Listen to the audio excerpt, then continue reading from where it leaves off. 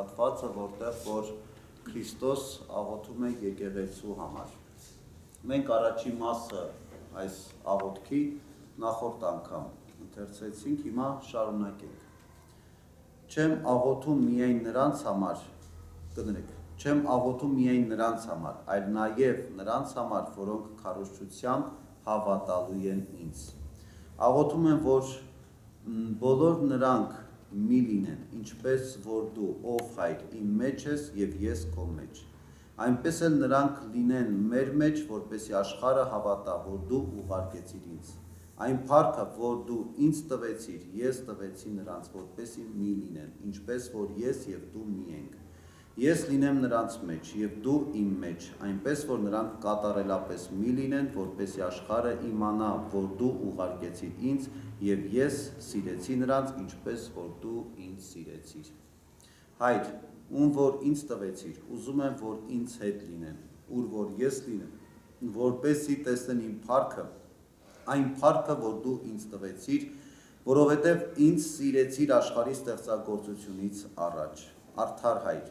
թեև աշխարհը քեզ չճանաչեց, բայց ես քեզ ճանաչեցի։ Եվ սրանք էլ իմացան, որ դու ես ինձ ուղարկել։ Ես քեզ ճանաչեցրի նրանց եւ պիտի շարունակեմ ճանաչեցնել, որպեսի այն սերը, որով ինձ սիրեցիր, նրանց մեջ լինի եւ ես լինեմ նրանց մեջ։ Եթե հիշում եք նախորդ հանդիպ հա, նախորդ հատվածում Քրիստոս աղոթում էր նախ եւ առաջ իր համար։ Հետո Քրիստոս իր աղոթքի մեջ որ աղոթում էր իր համար, որովհետեւ իր դիմաց խաչն էր, խաչի խորուրդն էր եւ Գողգոթայի ճանապարհը, որով որ ինքը պիտի անցներ։ Հետո Քրիստոս աղոթում է իր առաքյալների համար որպեսի այն առաքելությունը, որ պիտի առաքյալները իրականացնեին, այդ առաքելության մեջ լինեին հաստատուն, լինեին հավատքով, ամուր, եւ հիմա այս հատվածում Քրիստոս աղոթում է բոլորիս համար, բոլոր այն մարդկանց համար, ինչպես որ այս հատվածում է Քրիստոս նշում, ասում է, ովքեր որ քարոշչությամբ հավատալու են ինձ։ Այսինքն բոլոր այն մարդիկ, ովքեր որ հետագայում եւ տարերի ընթացքում քարոշչության արդյունքում պիտի հավատային Հիսուսին եւ դառնային քրիստոնյա։ Քրիստոսի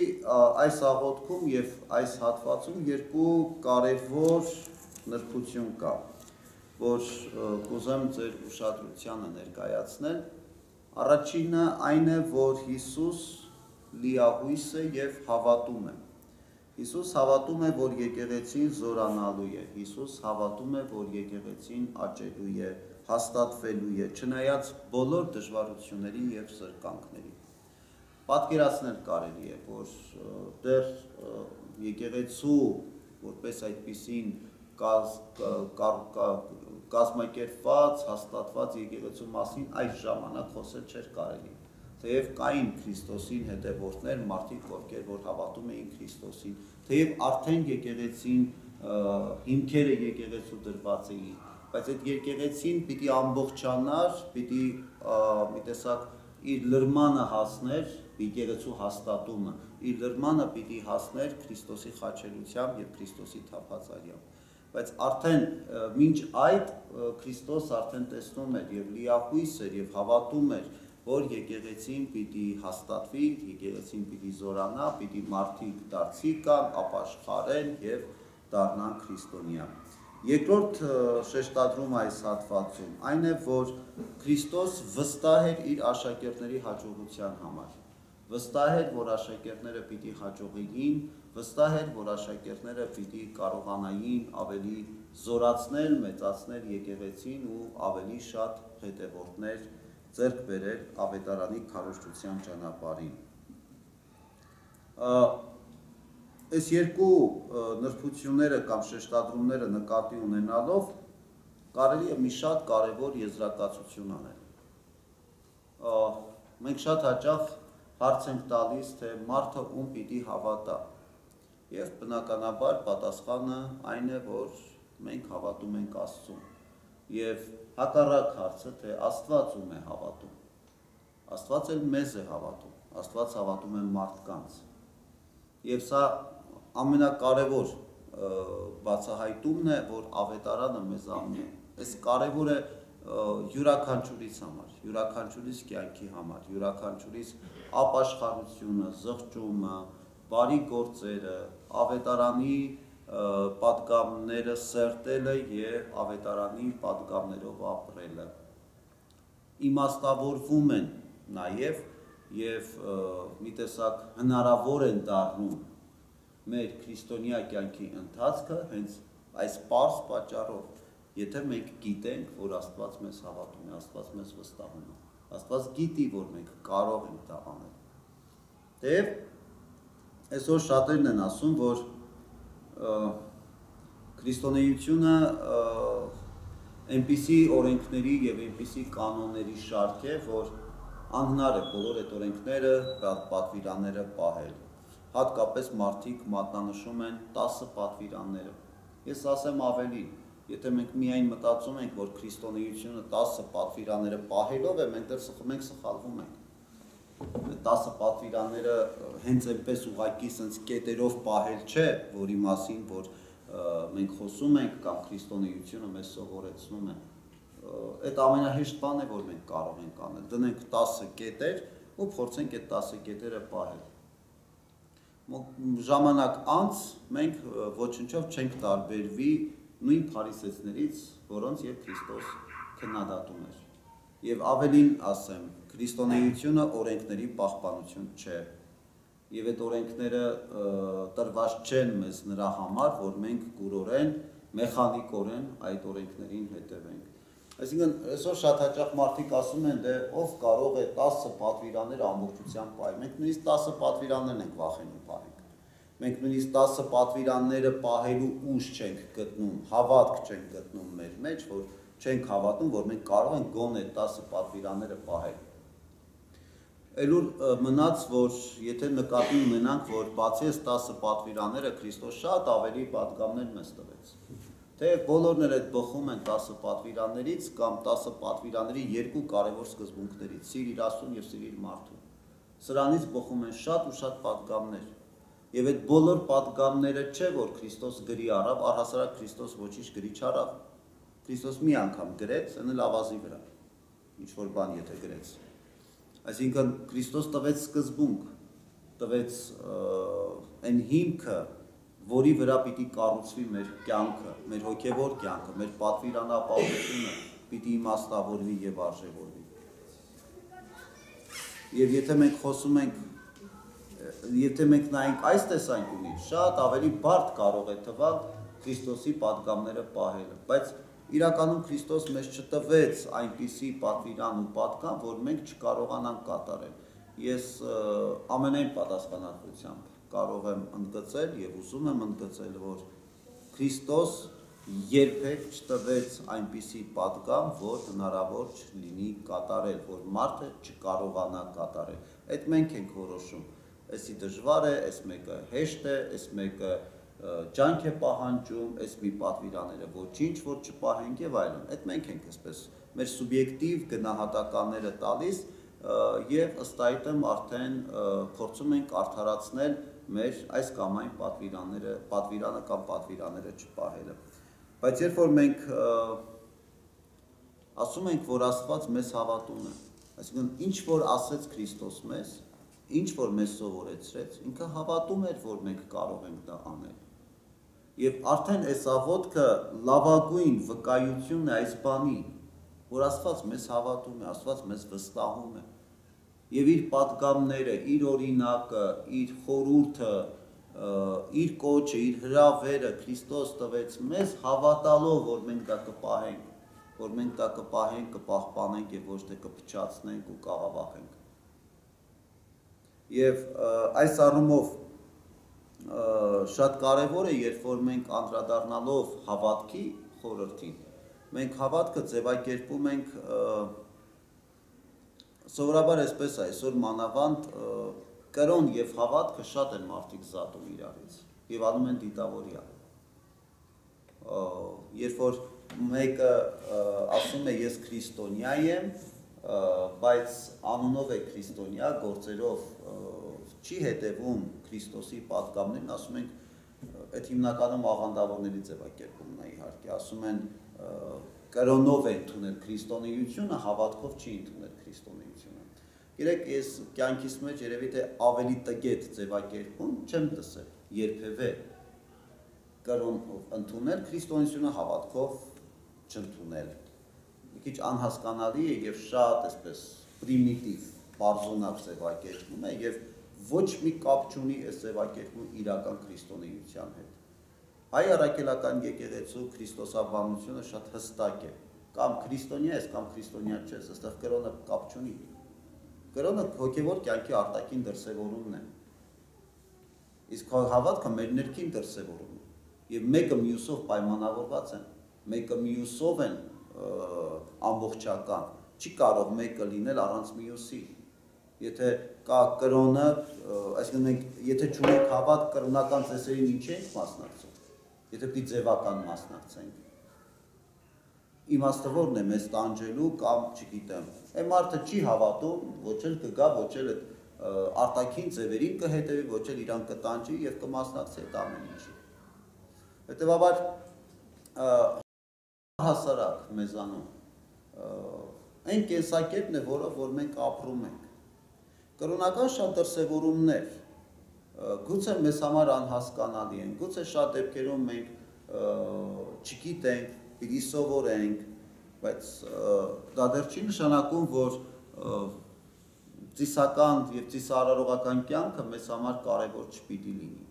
Այդ պիտի պայմանավորված լինի ոչ թե օրենքներով կամ պիտի պարտադրված ինչ-որ մի հանգամանքներով, այլ դա մեր պիտի բխի մեր հավատքից։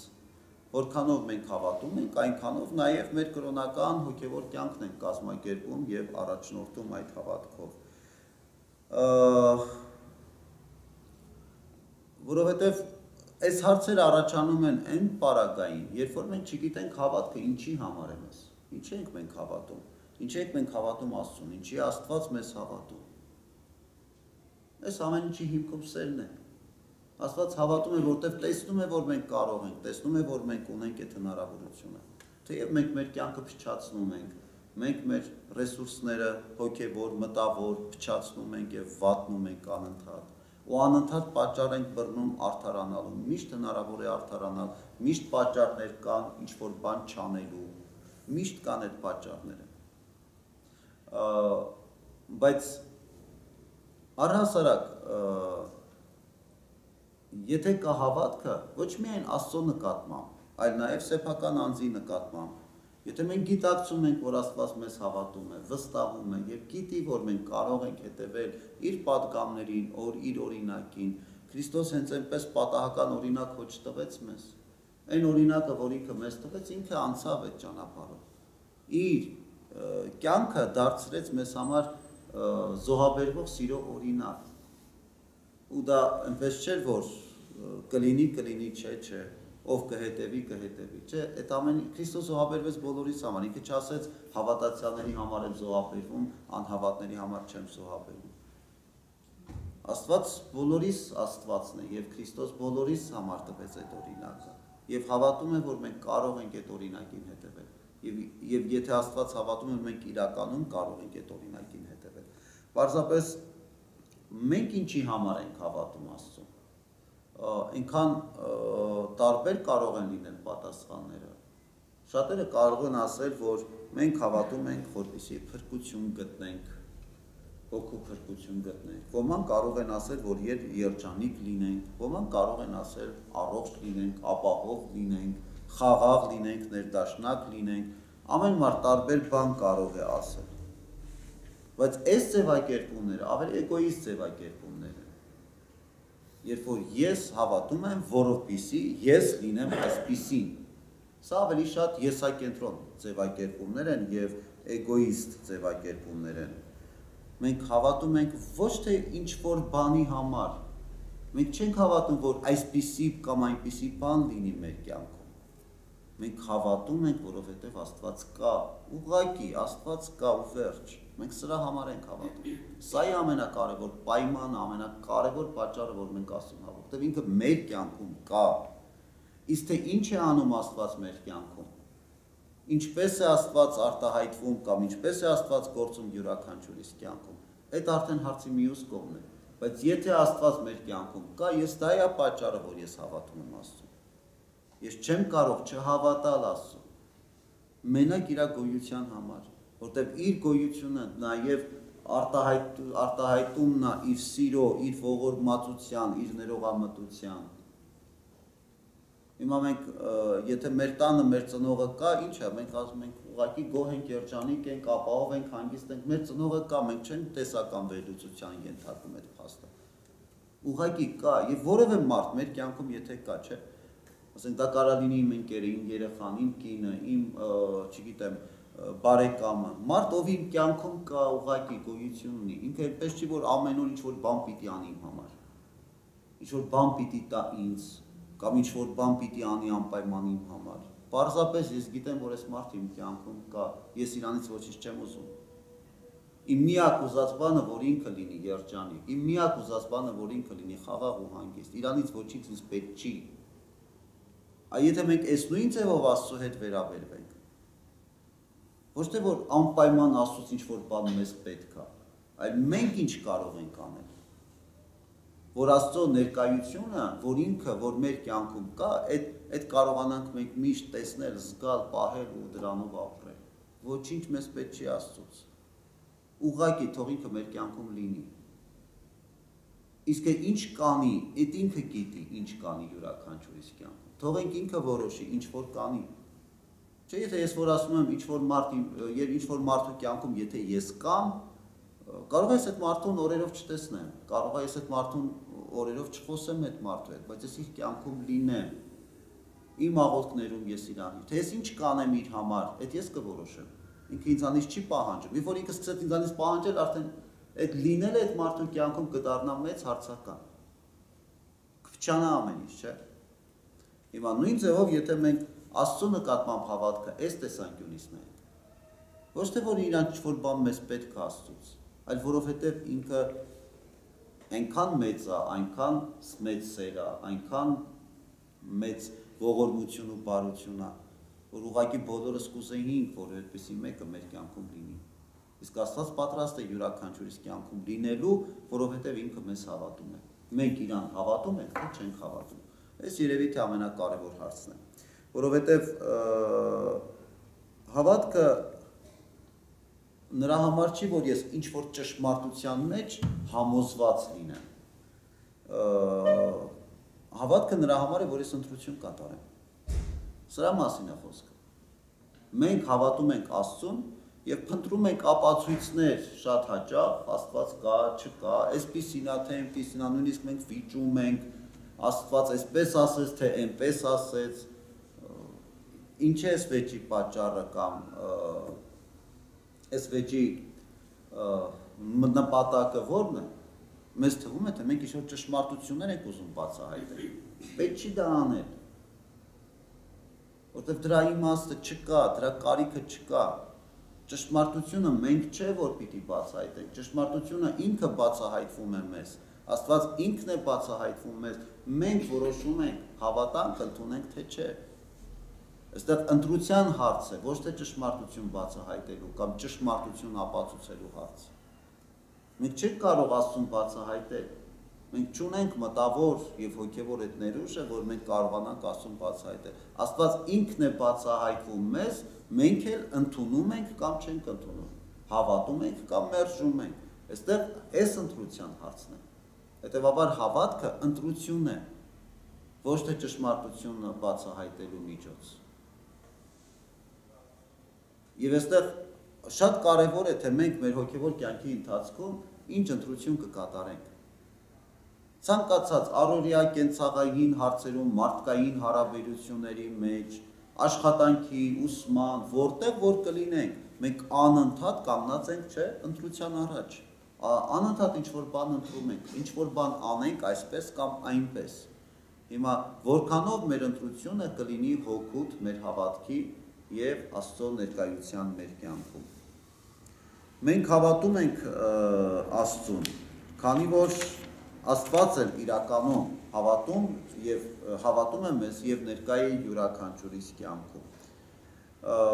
Ինչպես է Աստված ներկա յուրաքանչյուրիս կյանքում։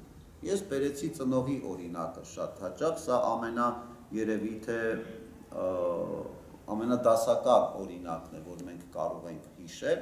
գուցե եւ ոչ ամբողջական, բայց ամենամեծ հասկանալի օրինակն է, որ կարող ենք մատնացույց անել։ Ինչպես է ծնողը ներկա մեր կյանքում։ Ուղղակի ծնողը չի փիլիսոփայում, չի տրամաբանում, տրամաբանական վերլուծություններ չի մեջտեղ վերում, որպիսի ապացուցի, որ ինքը մեզ սիրում է, չէ՞ Չի նստում ժամերով երկար բարակ այսպես ինչ որ ծնողը պարզապես կա մեր կյանքում։ Ինքը կերակրում է մեզ։ Եթե փոքր ենք, կրծքով կերակրում է։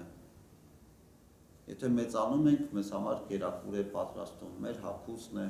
հարդարում, հոգ է տանում, չէ՞։ Ամենաառօրյա կենցաղային հարաբերություններից սկսած։ Ինքը չի ամեն անգամ ոչ չի ասում ես քեզ սիրում բայց այդ ինչ որ ինքը անում այդ սիրո դրսևորում է եւ սիրո արտահայտություն է յուրաքանչյուրիս կյանքում։ Մենք չենք դնում վերլուծում կամ փիլիսոփայում, թե ոնց է սիրում կամ ոչ չի սիրում։ Պարզապես ինքը իր հոգատարությամբ, իր սիրով կա մեր կյանքում։ Հիմա այնպես է որ միշտ չի որ կարող է ինքը մեր ծնողը մեր կողքին լինի։ Կարող է ես ապրում եմ առանցին ծնողից,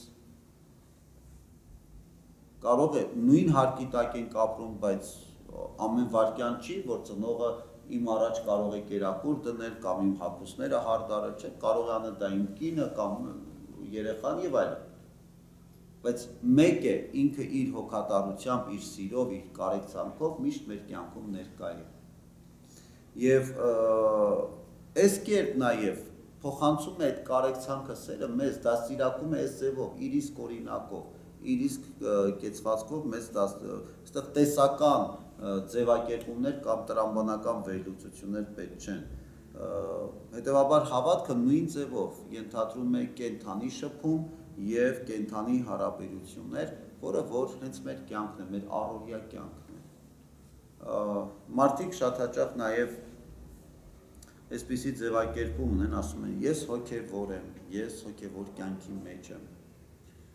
ես ճիշտ ասած շատ հաճախ չեմ հասկանում այդ ինչա։ Չգիտեմ դա ինչա նշանակում։ Ինչով է հոգևորը աշխարհիկից տարբերվում այս դեպքում։ Առհասարակ աշխարհիկ հոգևոր հակասությունը գիտենք որ կա, ես դրա մասին չեմ ասում։ Բայց ով մարդը գալիս ինձ ասում է ես հոգևոր եմ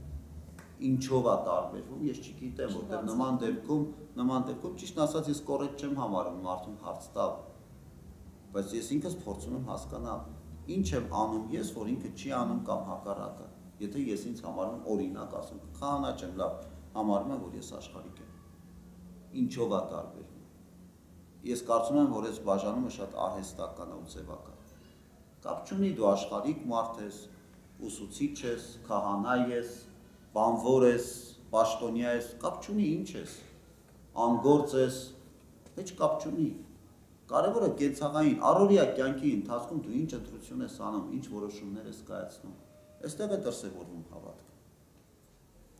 Եվ դրանից չի փոխվում Աստծո վերաբերմունքը, չէ՞, մեր նկատմամբ։ Ես հոգևորականում թե աշխարհականի տարբերություն։ Աստված սիրում է բոլորիս։ Այստեղ պատասխանատվության գուցե տարբերություն կա, պատասխանատվությունը գուցե տարբեր ըստ էության, բայց մեկ Աստված ներկայ է բոլորիս կյանքում։ Եթե ես հոգևորական եմ, այնպես չի որ Աստված իմ կյանքում շատ ավելի է ներկա կամ, չգիտեմ, ուրիշ ձևով է ներկա կամ քան որևէ մեկ ուրիշի։ Բայց ամենակարևոր հանգամանքը, որ այսօրվա այս հատվածի մեջ ես անընդհատ պիտի փորձեմ եւ ուզում եմ շեշտադրեմ, ինչը ինձ համար միշտ կարևոր է եղել։ Երբ որ մեկը, չէ, երբ որ որևէ մարդ ինձ հավատում է կամ մեզանից որևէ մեկին հավատում է, այդ այնքան մեզ ուժ է տալիս, չէ, ապրելու, գործելու, լավ բան անելու։ Ասենք, եթե ես գիտեմ, որ այս մարդը ինձ հավատում է, ինձ վստահում է, դա իմ ծնողը կլինի, իմ կինը կլինի, իմ երեխան, կապ չունի ով կլինի։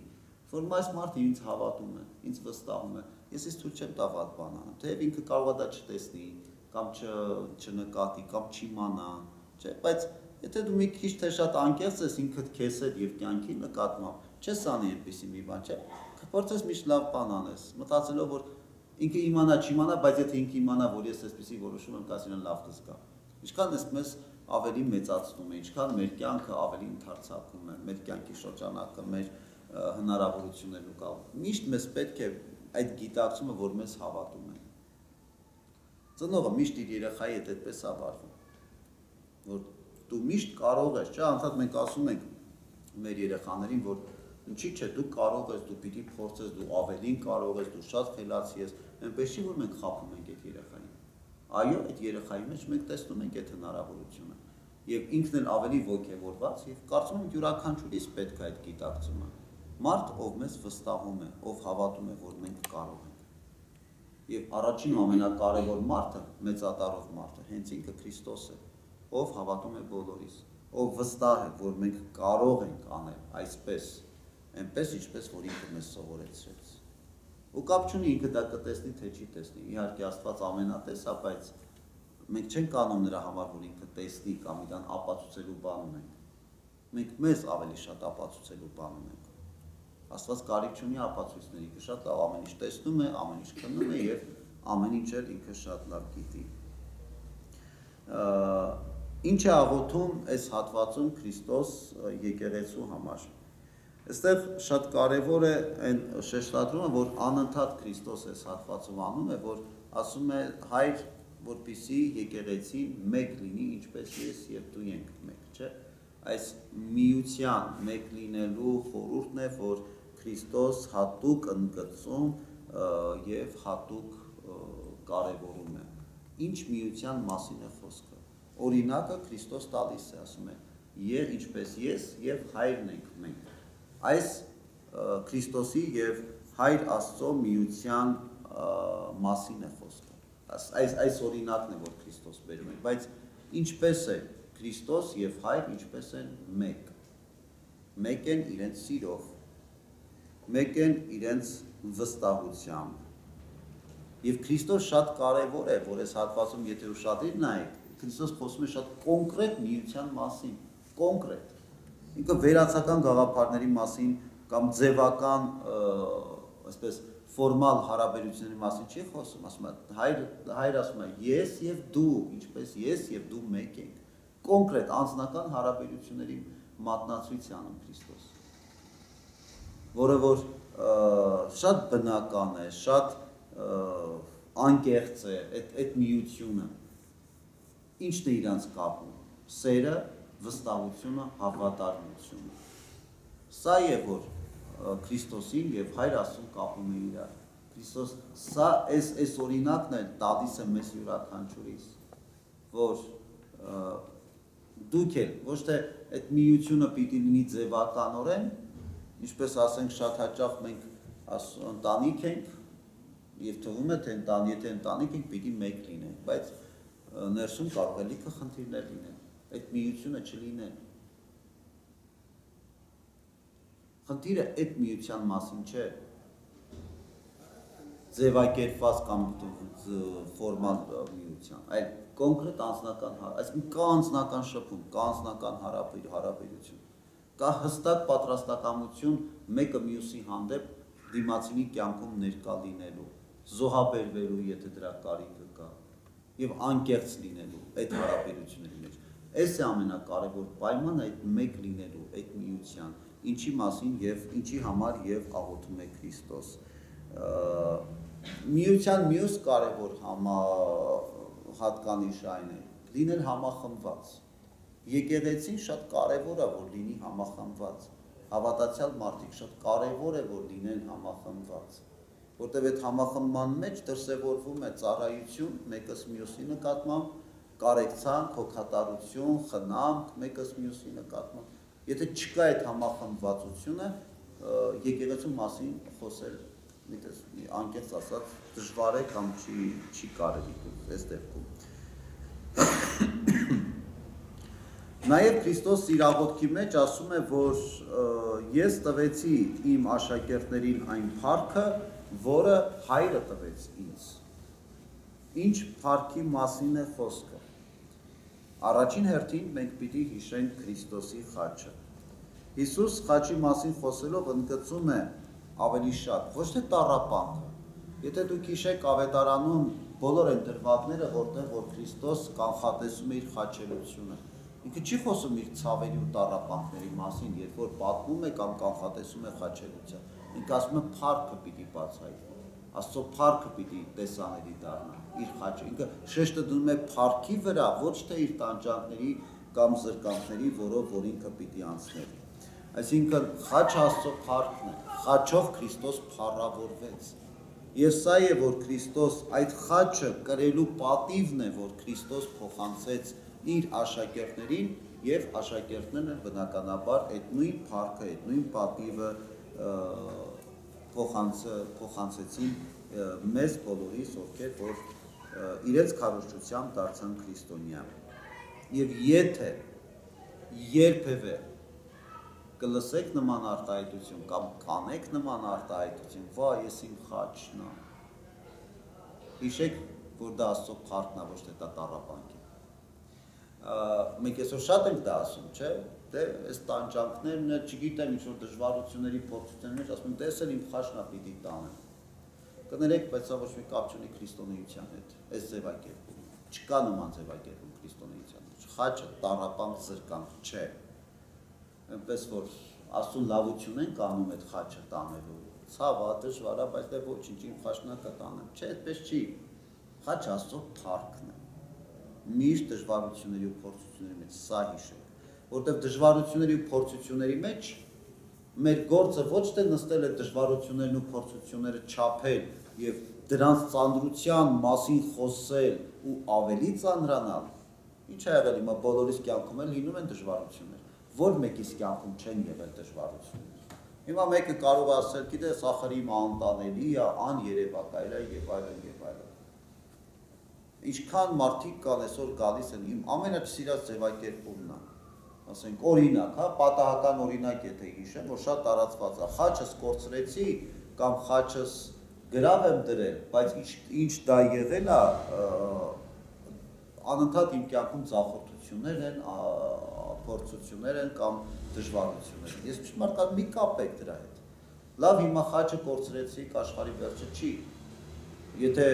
խաչի նկատմամբ, ասենք դա չէ կարել դիտավորյալ, որտեղ անարգել եք խաչը, դա ուրիշ հարց է Բայց եթե պատահական խաչը կորել է հիմա մարդ ես, բոլորից էլ դա կարա պատահի։ Ինչ է եղել։ Ես էլ եմ խաչ կորցրել իմ անուշադրության կամ անտարբերության արդյունքն է գուցե, բայց հիմա ես դա դիտմամբ չեմ արել։ Այսինքն դա իմ անարգա ես անարգալից վերաբերմունք չեմ դրսևորել խաչի նկատմամբ։ Բոլորս այդ կարա դա պատահի, չէ՞։ Հիմա ինչ բռնենք մենք բոլոր դրա հետ կապենք մեր բոլոր դժվարությունները, ու ցավերը։ Այդ ամենասխալ բանն է։ Այսօր բայց շատ տարածված է։ Մենք ունենք լիքը դժվարություններ, բայց անընդհատ սիրում ենք այդ դժվարությունների պատասխանատվությունները, մեր պատասխանատվությունը մեզնից դուրս տեսնել։ Այս քրիստոնյայի արարք չի, որտեղ մենք չենք ուզում պատասխանատվություն վերցնել, իսկ քրիստոնյան չի կարող անպատասխանատու մարդ լինել։ Ուղղակի չի կարող Քրիստոնյան ոչ միայն իր արարքների, այլ իր շուրջը տեղի ունեցողի համար պիտի պատասխանատվություն դարձնի, որտեղ Քրիստոնը շատ ավելին է տեսնում կամ ավելին է գիտակցում։ Չէ՞ ինչպես որ երեխան կարող է կողքի անցնի կողտան տան մեջ կամ որևէ տեղ կողքի աղբը չտեսնի, բայց ոչ մեկ երեխային չի ասի, դու ես ինչ վատն ես։ Երեխայի հնարավոր է եւ չտեսնի, բայց եթե մեծն է դա տեսնում ու չի վերցնում կամ անտարբեր է ժամանակ, ասեն կամոթ քեզ։ Որտեղ քեզ համար դա անթույլատրել է Իսկ մեծը գիտի պատասխանատվություն, պետք է որ իմանա պատասխանատվություն վերցնելու կարևորությունը եւ դրա ամբողջ հմայքը։ Հիմա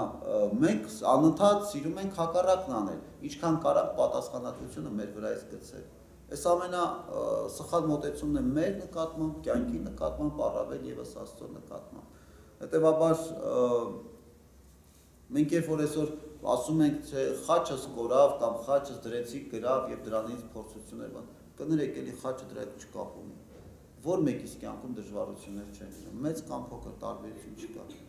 բայց այդ դժվարությունները նրա համար չեն որ մենք այսպես նստենք ու ողբանք ու լաց անենք թե ինչի այսպես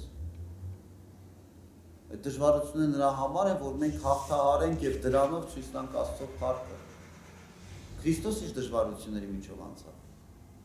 Ու երբեք ինքը խոսեց այդ դժվարություններից։ Մեզ պատմեց այն ցավը, որ ինքը ապրում էր յուրաքանչյուրիս համար։ Հասկացողը կհասկանա, չհասկացողը չի հասկանա։ Բայց Քրիստոս երբեք մեր ծերեսով չտվեց այն ցավն ու այն դժվարությունները, որ ինքը մեր մեր հետ կիսեց։ Ինքը դա արեց Աստծո փառքի համար։ Ցույց տալու, որ միշտ կյանքում կա ելք, միշտ կյանքում ելք կա ցանկացած իրավիճակից։ Ցանկացած։ Եվ հետեւաբար, խաչը այն Աստծո փառքն է, որը փոխանցվեց մեզ։ Սա է, որ Քրիստոս ասում է. Հայր քո փառքը ես տվեցի իմ աշակերտներին, աշակերտները պիտի փոխանցեին Քրիստոսի եկեղեցուն։ Երկրորդը, որ Հիսուս մեզ ինչ է տալիս, կամ եթե մենք խոսում ենք Աստծո փառքի մասին, Աստծո փառքը նաև Աստծո կամքի լիովի հնազանդվելն է։ Սա է, այստեղ է նաև դրսևորվում Աստծո փառքը եւ այստեղ է որ զորանում է եւ մեր կյանքում ավելի ընդգծված դրսևորվում է Աստծո փառքը։ Ամեն անգամ, երբ որ մեզ մենք փորձում ենք հնազանդվել Աստծո կամքին։ Ինչ է նշանակում հնազանդվել Աստծո կամքին։ Ճիշտ ընտրություն Աստծո կամքը կատարել եւ ինչքան որ մենք Աստծո կամքի համաձայն ենք ապրում, այնքան փառավորվում է Աստված մեզանով։ Աշակերտները հետևեցին այս ճանապարհին աշակերտները Քրիստոս նախ կատարեց Աստծո կամք եւ հիշում եք ամեն անգամ Քրիստոս ասում էր քո կամքը թող լինի Տեր այլ որ աղոթում էր հորը միշտ փնտրում էր եւ միշտ ընդգծում ու կարեւորում էր որ քո կամքը թող լինի այս նույն հնազանդությունը Աստծո կամքի Քրիստոս փոխանցեց իր աշակերտներին աշակերտները նույն այդ հնազանդության հիմքի վրա ձևավորեցին, ստեղծեցին Քրիստոսի եկեղեցին եւ նույն այդ պատկամն ու այդ կոչը փոխանցեցին մեզ։ Եվ մյուս կարևոր բանը, որ Քրիստոս ապրեց իր երկրային կյանքի տարիներին այնպես, իր կյանքի ամեն մի վարքյանը միջոց էր, հնարավորություն էր, որով ինքը փորձում էր Աստծուն բացահայտել մեր մեր մեջ այս աշխարհում անընդհատ Քրիստոսի կյանքի ամենակարևոր նպատակներից երկրային կյանքի ամենակարևոր նպատակներից մեկը սա էր որ անի այնպես եւ անի ամեն ինչ որ Աստված բացահայտվի մեր կյանքում այսինքն մենք իդեմս իր որոշումների, իր ընթացքի, իր օրինակի մենք կարողանանք ասում տեսնել եւ փառաբանել Աստծո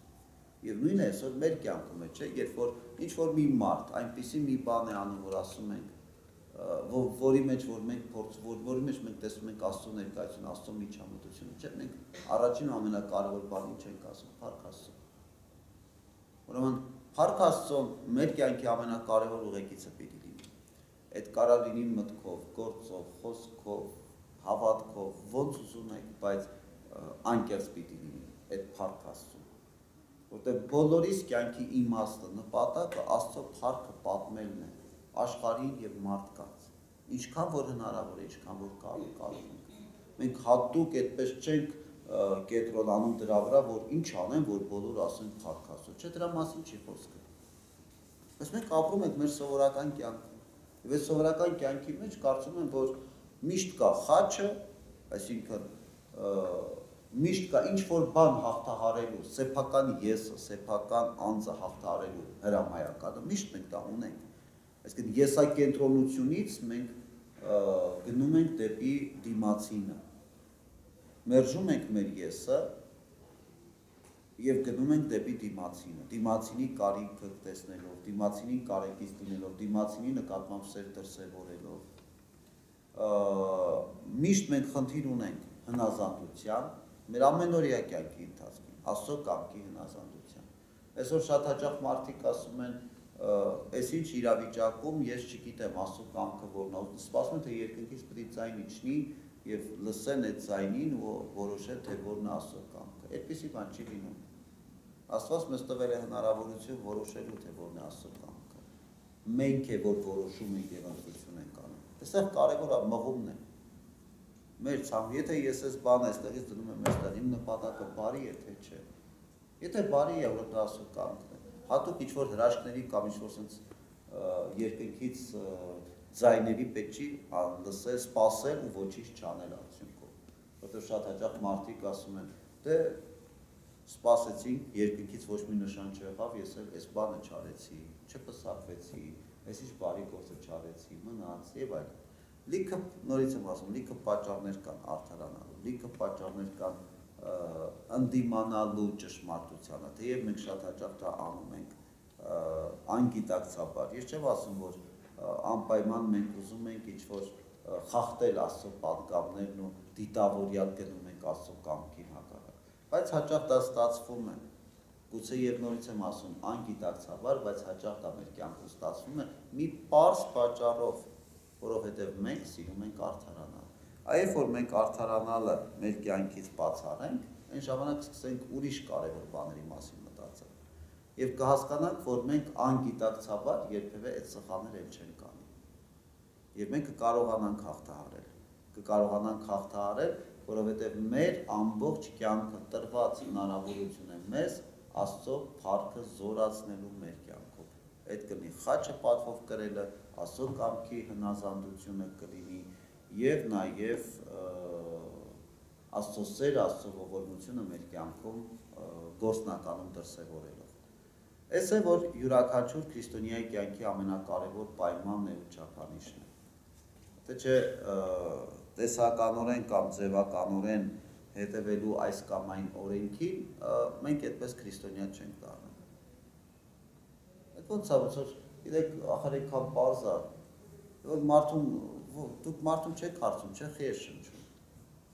Մարդը եթե կա ապրում է շնչում է, չէ, շնչում է, արտաշնչում է։ Ոչ մեկս դրա մասին չենք էլ մտածում, չենք էլ վերլուծում, չենք տեսական ձևակերպումների